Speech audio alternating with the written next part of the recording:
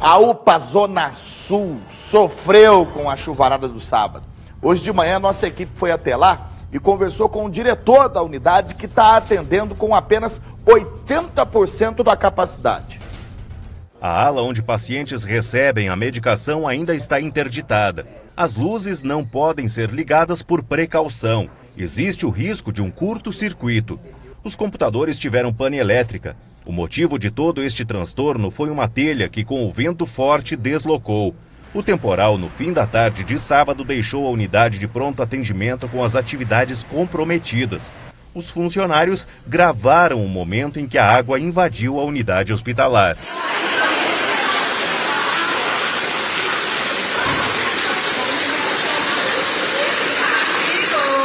De acordo com o diretor da UPA, nada pôde ser feito naquele momento. O que aconteceu foi que, com o advento do vento muito forte, ocorreu uma sessão de, de, de telhas ali, aí a água entrou ali, né, provocou esse excesso de acúmulo de água dentro do teto e, e ocasionou então esse rompimento do teto de gesso que acabou causando esse transtorno aí para a gente. A emergência está operando com 50% da capacidade total.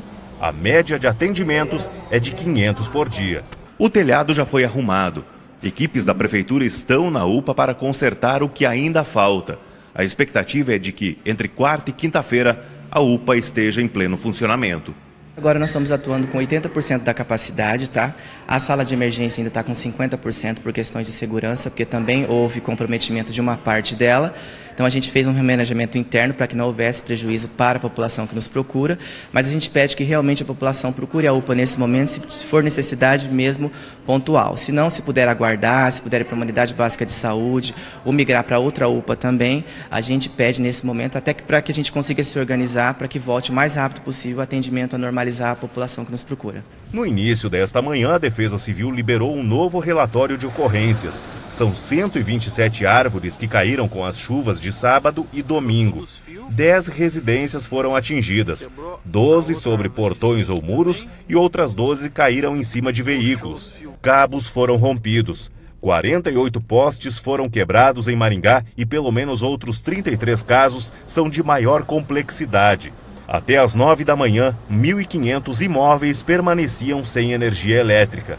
Em Sarandi, 50 árvores caíram e 1.500 unidades consumidoras permanecem sem luz. Ainda temos parte da população sem energia elétrica, a Copel está trabalhando nisso e durante o dia e nos próximos dias nós vamos fazer o levantamento de pessoas que podem estar precisando de lona, se estiver precisando de atendimento. A Defesa Civil Municipal está aqui atenta para isso. Olha, gente, não tem como culpar ninguém pelo que aconteceu, mas muito se tem a aprender com o ocorrido, principalmente o poder público. Existem medidas é, preventivas, podem ser tomadas a partir de agora com a identificação de cada problema, de cada setor. Né? É a força da natureza. É certo mais cedo ou mais tarde seremos atingidos por um temporal, talvez ainda mais forte que esse, né? novamente.